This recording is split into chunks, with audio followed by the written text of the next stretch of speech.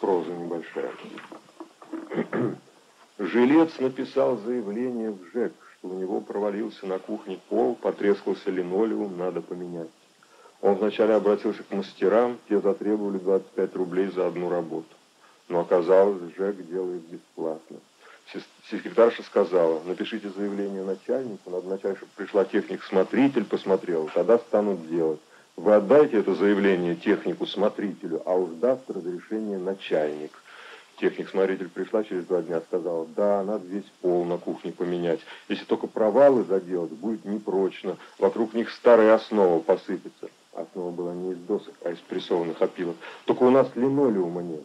Еще через день-два пришел по ее распоряжению мастер, который просил 25 рублей за работу. Смотрел, сказал, не можем делать, у нас линолеума нет.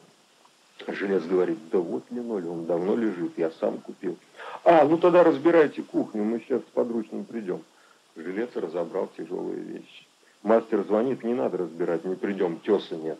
Жилец звонит женщине-смотрителю, как-то они не придут, сказали кухню разобрать, а теперь теса нет. Она помялась по телефону. Подождите, м-м, нет, а когда будет?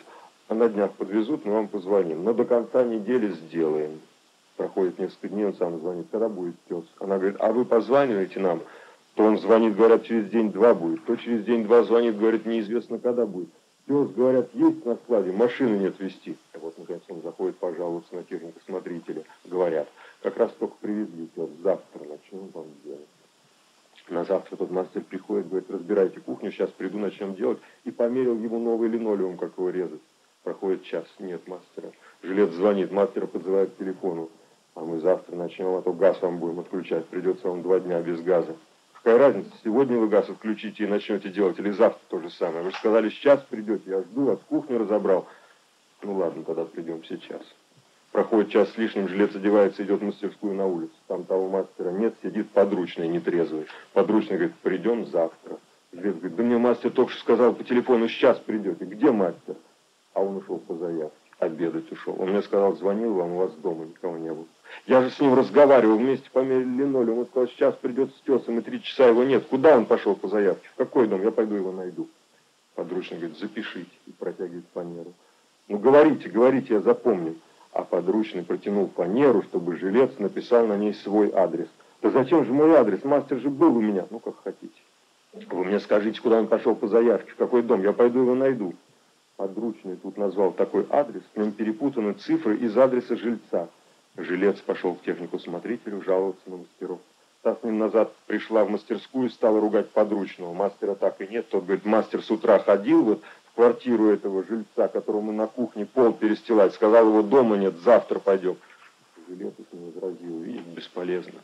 Техник-смотритель велела подручному пока начинать работу, напилить полосы теса по размерам кухни и выгнала за одной из мастерской людей, про которых правильно подозревал, что они пришли к подручному выпить с ним, и ушла. Подручный говорит, а как я буду резать? Я размеров вашей кухни не знаю. А все кухни одинаковые во всем районе. Жилец говорит, ну хорошо, пойдемте со мной, померяйте. Вот пришли они с подручным жильцу в дом, подручный измерил кое-как, линейка идет в кривь и в кость, и говорит, все равно, раньше, чем через три дня нельзя начинать. Линолеум должен три дня вылежаться перед настилкой. Да уж 33 дня вылеживается у меня в комнате. Теперь подручный сказал, а, так у вас свой линолеум, тогда другое дело, можно завтра начать. Так зачем я мерил по кухне, как его резать, какого размера полосы теса делать? Все кухни одинаковые во всем районе. Раз у вас линолеум есть и отлежался, так завтра можно начать. Так как так завтра? Мне мастер пришел, сказал сегодня. Начинайте сегодня. Если не успеете, завтра продолжите. Пойдите хоть напилите полосы теса по размерам и принесите сюда. Подручный сказал, все равно без мастера не смогу. Что не сможете? Отпилить не сможете? Отпилить могу, а как понесу? Полосы большие, у меня сил нет нести. Ну хорошо, вы идите, отпилите в мастерской и позвоните мне, если еще ваш мастер не пришел, я спущусь к вам, помогу донести и жилец записал ему свой телефон. Вот жилец сидит, ждет, ждет, не звонит подручный. Ой, ёб твою мать. Жилец опять оделся, пошел к нему в мастерскую. Подручный сидит, курит, ничего не напилено. Жилец говорит, в чем дело? А подручный, как ни в чем не бывало. А сперва к вам должна прийти техник-смотритель, посмотреть, сколько садитесь теса за плату. Да мне не за плату, мне весь пол делать надо. Ничего не знаю, завтра техник придет, решит, сколько теса на вас, какую делать заплатку или на весь пол, а я ничего не знаю. Да она месяц назад смотрел, не знаю, ничего не знаю, идите к ней. жилец опять технику смотрителю, тот сказал, ну что делать, этот пьяный, тот неизвестно где, что делать, завтра придем и все сделаем, сделаем зарплату, я прослежу. А завтра, правда, пришли, сделали.